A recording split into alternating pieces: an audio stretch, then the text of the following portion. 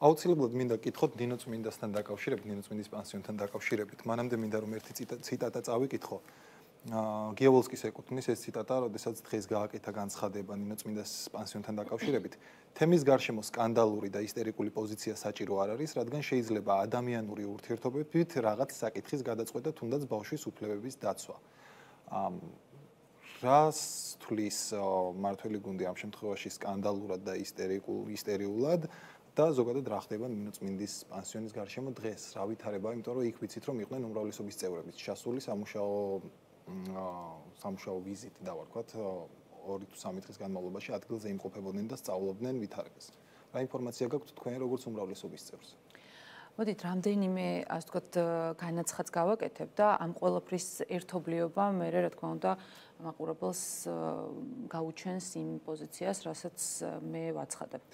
ერთი არის რომ სასტიკად არ მომწონს ის ანტიეკლესიური რაღაც მოძრაობები, რომელიც შეინიშნება მედიაში და სხვადასხვა ჯგუფების მხრიდან ინიცირდება. ეს არის ნამდვილად მიუღებელი ჩემთვის და არა მხოლოდ იმიტომ, რომ მე ვარ ქრისტიანი და ჩვენი ეკლესიის მრევლი, არამედ იმიტომ, რომ ჩვენი ასე ვთქვათ, ერი და ჩვენი სახელმწიფო საუკუნეების მანძილზე, აი დგას იმ რაღაც მყარ იდეოლოგიაზე, რომელიც არის ქრისტიანობა და სხვა რელიგიების და კონფესიების წარმომადგენლებთან თანაცხოვრებით, ჩვენ აი ამ რაღაც ძირითადი ღირებულებების ირგვლივ ერთიანდებით და რა თქმა უნდა, ვცემ პატივს მათ ასე ვთქვათ, რწმენას და ჯულს და ასევე ვთვლი, რომ ჩვენსას უნდა სცენ სხვებმა პატივი. ამიტომ ის კამპანია რაც წარმოებს არის სრულიად მიუღებელი. აა რაც შეეხება ნინოწმინდის ბავშთა სახს, მე ასევე დარწმუნებული ვარ, რომ ჩვენი საზოგადოების დიდი ნაწილი ბავშთა უფლებების იმ ასე ვთქვათ ხარისხს ჯერ ვერ იაზრებს, რომელიც თუნდაც ახალმა კოდექსმა გააჩინა, რომელიც თანამედროვე სტანდარტები აწესებს და ეს შეიძლება თავშესაფარშიც და ოჯახშიც კი სხვანაირად ასე ვთქვათ რეგულირდებოდეს და ჩვენ მე მახსოვს ჩვენ ბავშვობაში როგორი იყო ვთქვათ ბავშვების მიმართ მიდგომა და ვიცით ეხლა როგორ უდგებით ბავშვებს. ხო მათი უფლებები არის ძალიან მაღალ რეგისტრში აყვანილი და რა თქმა უნდა შეიძლება რაღაც გარკვეული გარდამავალი ეტაპია იმისთვის, რომ მათი უფლებები სათანადოდ დავიცვათ. ამიტომ ბავშვების უფლებების დაცვა ასევე ძალიან მნიშვნელოვანია და თუ არსებობს რაიმე წინაპირობა, რომ იქ ირღვეოდა ბავშვების უფლებები, მე ვთვლი, რომ აუცილებლად, მათ შორის ეკლესიის ინტერესებშივე არის, რომ აუცილებლად იქნას იქნეს გამოძიებული და სათანადო რეაგირება მიეცეს ამ ყველაფერს, იმიტომ რომ მე ზუსტად ვიცი და მჯერა, რომ არავის თვითმიზანი არ ყოფილა იქ რაიმე დარღვევების განხორციელება. ამიტომ და მე მესამე.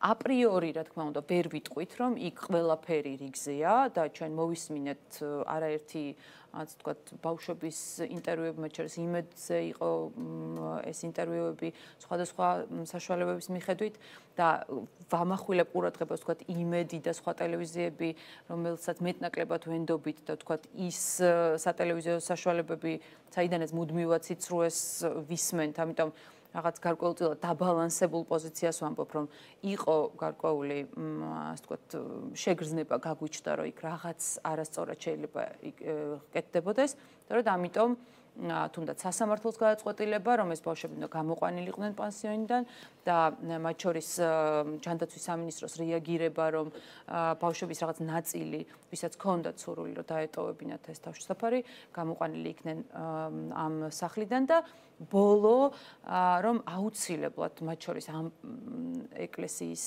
მიერ მართ ასე ვთქვათ ეკლესიის საკუთრებაში არსებული ამ თავშესაფრების შემთხვევაში აუცილებლად უნდა შევასრულოთ ის საუკეთესო პრაქტიკა, რასაც გვეუბნება რაღაც დასავლური ასე ვთქვათ ინსტიტუტები, რომ ბავშვები არ უნდა იყვნენ ასე ვთქვათ მოწყვეტილი ოჯახურ პირობებს და თუ მათ არ ყავთ ბიოლოგიური ოჯახი, ისინი უნდა იყვნენ მინდობით აღზრდაში, სხვა ოჯახებში და ისინი უნდა იყვნენ საოჯახო გარემოში, ან თუ ბიოლოგიური ოჯახი ყავთ, იმიტომ რომ ოჯახის სოციალური პირობები არ უწყობს ხელს, ჩვენ ბავშვი კი არ უნდა გამოვიყვანოთ ამ ოჯახიდან, არამედ ეს ოჯახები უნდა გავაძლიეროთ და აი ამ პრინციპების გათვალისწინებით მე ვფიქრობ, რომ ბავშვების საუკეთესო ინტერესების ფარგლებში არის რომ ეს ბავშვები მაქსიმალურად გადანაწილდნენ ოჯახებში. გასაგებია.